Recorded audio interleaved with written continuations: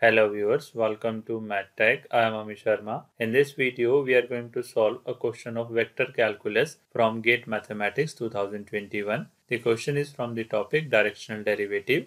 So without a delay, let's start. Question is, let f from r square to r be differentiable. Let du f at 0, 0 and dv f at 0, 0 be the directional derivative of f at 0, 0 in the direction of unit vector u equal to 1 by root 5 comma 2 by root 5 and v equal to 1 by root 2 minus 1 by root 2 respectively. If du f at 0 comma 0 is root 5 dv f at 0 comma 0 is root 2 then curly f by curly x at 0 comma 0 plus curly f by curly y at 0 comma 0 is equal to. In order to solve the question we have to recall the following result. Result the directional derivative of a scalar field phi at a point x, y, z in the direction of unit vector A is given by del phi dot A.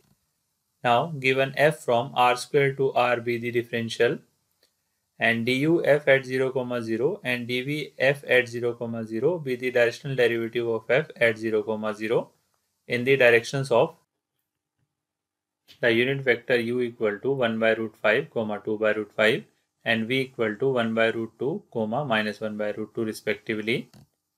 Also, the directional derivative of f in the direction of unit vector u at 0, comma 0 is root 5 and directional derivative of f in the direction of unit vector v at 0, comma 0 is root 2. Now, the directional derivative of f at 0, comma 0 in the direction of unit vector u equal to 1 by root 5, comma 2 by root 5 is del f dot u which is further written as i time curly f by curly x plus j time curly f by curly y dot i times 1 by root 5 plus j time 2 by root 5 this is the value of del f and this is the value of unit vector u. Now the dot product of these two vector are 1 by root 5 curly f by curly x plus 2 by root 5 curly f by curly y. This is further written as root 5 equal to 1 by root 5 curly f by curly x plus 2 by root 5 curly f by curly y why it is so? Because the value of directional derivative of f in the direction of u at point 0, comma 0 is root 5. Now multiply root 5 on both sides, we get curly f by curly x plus 2 into curly f by curly y equal to 5. Again, the directional derivative of f at 0, comma 0 in the direction of unit vector v equal to 1 by root 2 minus 1 by root 2 is del f dot p which is further written as i time curly f by curly x plus j time curly f by curly y dot i times 1 by root 2 minus j time 1 by root 2. This is the value of del f and this is the value of unit vector v. Now the dot product of these two vector is 1 upon root 2 curly f by curly x minus 1 by root 2 curly f by curly y which is further written as root 2 is equal to 1 by root 2 curly f by curly x minus 1 by root 2 curly f by curly y.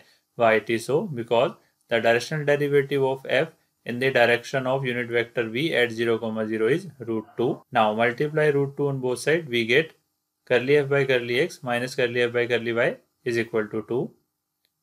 Now on solving curly f by curly x plus 2 into curly f by curly y equal to 5 and curly f by curly x minus curly f by curly y equal to 2, we get curly f by curly x is equal to 3 and curly f by curly y is equal to 1.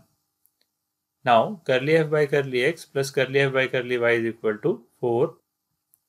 Hence curly f by curly x at 0 comma 0 plus curly f by curly y at 0 comma 0 is equal to 4. Thank you very much for watching my video. If you like the content, please do like, share and subscribe my channel. If you have any query, comment me. Thank you very much.